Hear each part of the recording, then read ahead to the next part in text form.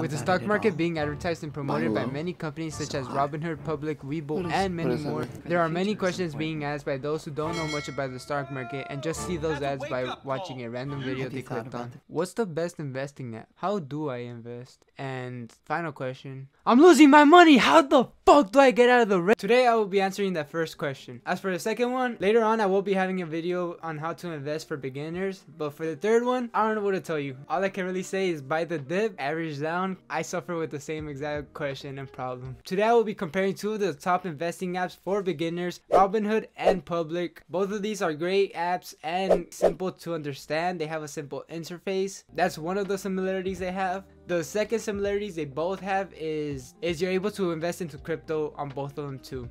But now that we have those similarities out of the way, we'll be starting off with my favorite one, Public. Public is an investing app, very simple to use, and it kind of has an interface like Twitter, and it has a social media aspect to it. One of the pros I have that I actually enjoy is that you're able to see once somebody invests into a company, once somebody sells out of a company, how long they were in that company, and their gain or loss percentage wise that they had. For me, this is a great tool in the app because you're able to learn off of other people's mistakes and as well get some advice off of other investors and just build a community just like any other social media platform you would have. The only downside to the social media aspect of this app is that that you shouldn't invest into a company just because of what other people say about it. You should listen to what they have to say about it, but also it is your decision. You should make your own research and go off of that. One other thing I love about Public is that they promote long-term investing.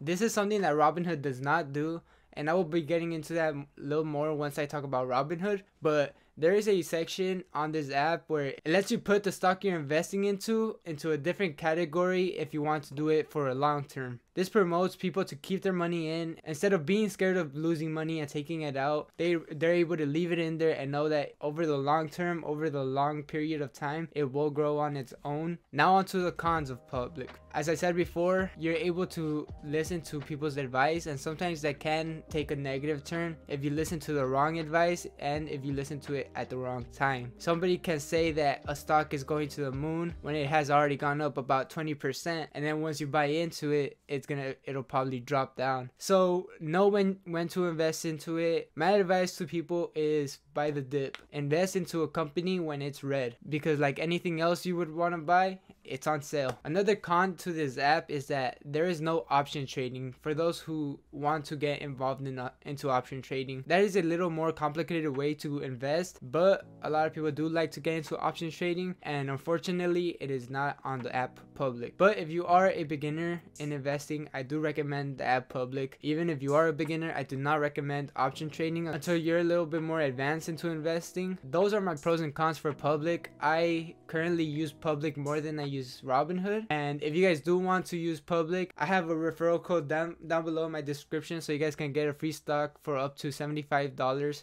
Now onto Robinhood. So for Robinhood, I honestly could not find any more cons than it being a simple interface. Um, Robinhood is very simple to use. Robinhood is very simple to understand. Robinhood is a place where a lot of people go for the first time, but doesn't mean that it is the best platform to use. Since there are more platforms that have came out ever since Robinhood has, since Robinhood was one of the first apps to come out for investing, um, especially commission free. I did use Robinhood when I started. There's just one problem I have with Robinhood is that Robinhood kinda, you can say gambleizes stock trading. It makes it seem like it's a game. It makes it seem like you're at the casino.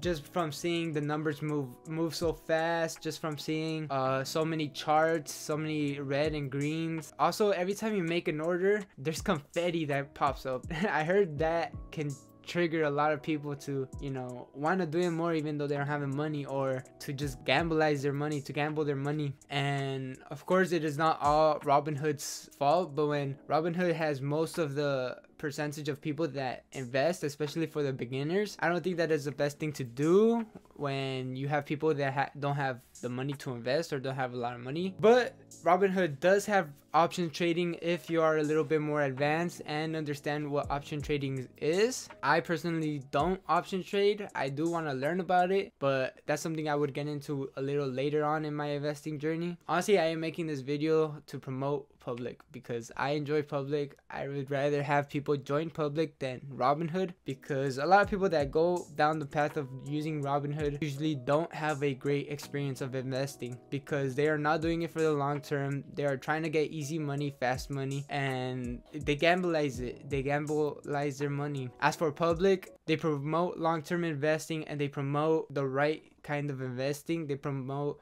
entrepreneurship. They promote financial freedom and they try to give you a place to have a voice in the investing industry. They try to give you a voice to be able to give some great advice be able to help some people out if they are beginners. If you guys do want to follow me on public you guys can follow me right here. Um i don't have the composition feature yet, but I will be trying to get it so I can have more of a voice on it. But yeah, that's those are my takes on these two apps. I know it's a little bit short. I know it's a little everywhere, but I hope you guys understand what I'm trying to say, what the pros and cons. I honestly couldn't find any other pros to Robinhood than it having option trading and being very simple. I think Public has a great thing going on. I think it is in its early days and I believe in the future updates it will it will be worth it and it will be better than Robinhood one day. But we'll see. There are many more investing apps. Webull I think is a little bit more complicated. I still haven't even used Webull just because of how complicated the interface is. Acorns still have to use that but I will be making a video on that one day. And all the other apps are a little bit more complicated than these two are. I think they both are great apps and I think they both are great apps to start off on. Uh, maybe once you guys learn a little bit more, you'd want to move on to Webull or move on to um, a little bit more complicated or a little bit more structured app.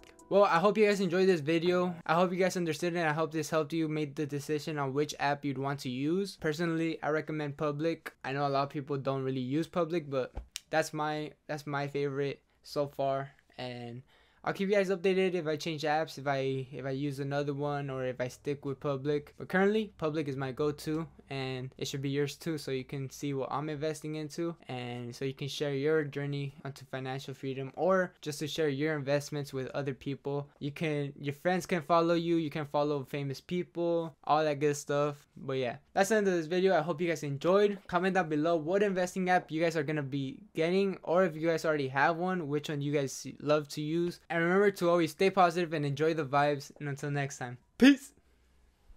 Bitch, I'm about my dollars. I'm trying to get some commas. I'm trying to get higher. Can't wait until mañana.